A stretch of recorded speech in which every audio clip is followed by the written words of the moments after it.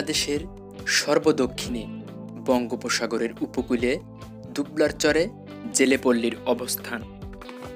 বাগেরহাটের মোংলা থেকে নৌপথে দুবলার চরের দূরত্ব প্রায় একশো বিশ কিলোমিটার। দুবলার চরের একদিকে ম্যানগ্রোভ সুন্দরবন, অপরদিকে সমুদ্রের নোনাচল ও সাগর পাড়ের ধুধুবালু চর সামুদ্রিক শুটকি উৎপাদনের অন্যতম অঞ্চল সুন্দরবনের দুবলার চর।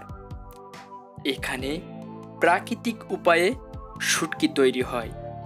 তাই এখানকার শুটকির বেশ সুনাম ও চাহিদা আছে সারা দেশে। দিন দিন চাহিদা বাড়ছে বিদেশের বাজারে। আর বিশ্ব বাজারে আরও পরিচিতি বাড়ানোর জন্য দুর্গম এ চর অঞ্চলের জেলে এবং ব্যবসায়ীরা নিরলসভাবে পরিশ্রম করে চলেছেন। এই দুবলার চরের জেলেপল্লীতে মৌসুমে গড়ে পাঁচ থেকে ছয় হাজার টন শুটকি উৎপাদন হয়, যার অর্থমূল্য পাঁচশো কোটি টাকা। সাতক্ষীরা জেলার তালা উপজেলার এই নদী পাড়ের মানুষগুলো পাঁচ থেকে ছয় মাসের জন্য এই দুর্গম পথ পাড়ি দিয়ে সমুদ্র উপকূলে দুবলার চরে অবস্থান করবেন মৎস্য সংগ্রহের জন্য। নদী পাড়ে অসংখ্য মানুষের ভিড়। তারা এসেছেন তাদের স্বজনদের বিদায় জানাতে। ছলো ছলো চোখে অপলক দৃষ্টিতে তাকিয়ে আছে এই নৌকার দিকে। তাদের স্বজনেরা দুর্গম পথ পাড়ি দিয়ে জীবন জীবিকার জন্য চলে যাচ্ছে সেই সুন্দরবনের দুবলার চরে। আগামী ছয় মাস এই দুবলার চরে বসবে জেলেদের মিলন মেলা।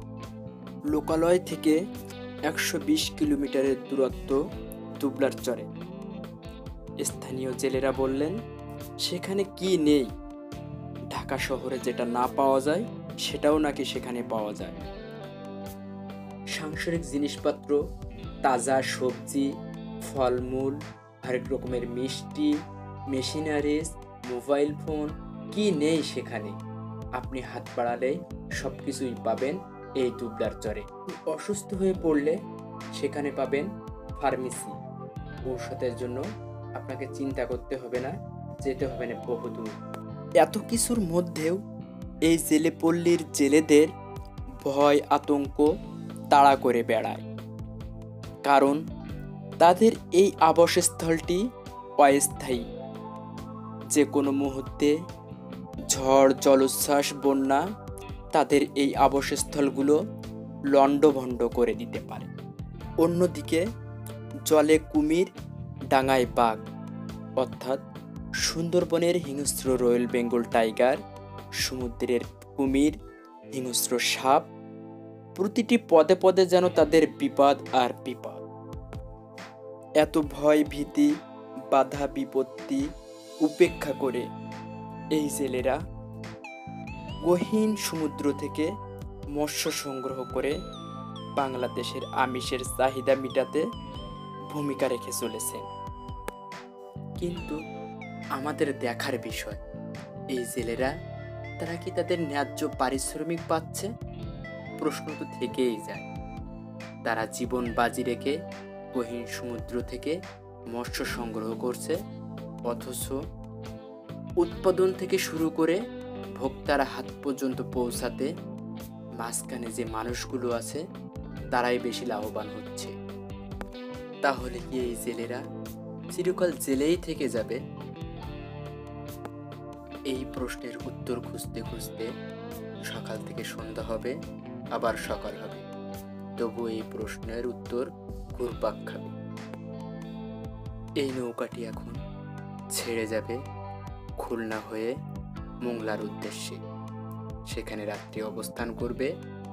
সেখানে বন বিভাগ থেকে তারা পারমিশন নিয়ে সমুদ্রে যাবে মাছ ধরার জন্য।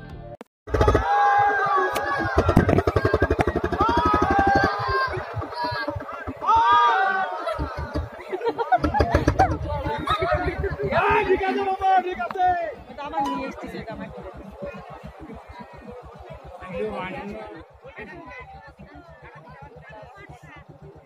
আমার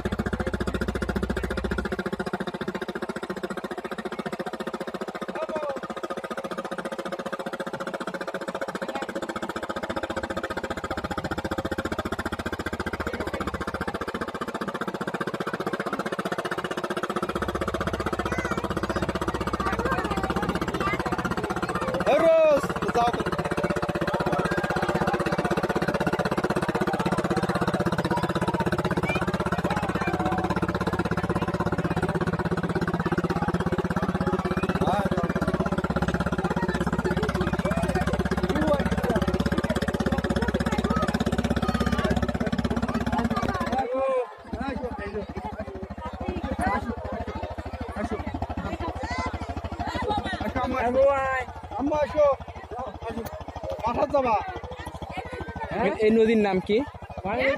আঙ্কেল? আঙ্কেল এই নদীর নাম কি? শিবসা। এখান থেকে ও, ক- এটা যে মিলছে কোথায় এটা? এটা নিয়ে আপনার ওই বড় নদী সেই নদীটার নাম কি? নাম বলেশ্বর। ও আচ্ছা, খুলনার দিকে যাইতে যায়? এখনার পরে দেই মোংলার পরে দেই ও আচ্ছা। আর এইখানে ঘুর দিল ওখানে টলার এতক্ষণ? ওই কি আছে তা কি এটা ও আচ্ছা। এটা একটা প্রথা আর কি যেরকম ঘুর দিয়ে যাইতে হয়। মানে আপনারাও যাওয়ার সময় এরকম ঘুর দিয়ে যান। না আমি এইবার দেখছি নতুন ও আচ্ছা এর আগে ছিল না। ও আচ্ছা। না দেখলাম এই যে চলিতেও যাইতে পারতো দেখি ঘুর দিল হচ্ছে এখানে যে আর কি। দেখল ইঞ্জিনটা ঠিক আছে। ঠিক আছে কিনা? ও আচ্ছা। ঠিক আছে আঙ্কেল? আপনার নাম? আমার নাম ও আচ্ছা। ঠিক আছে ভালো থাকবেন।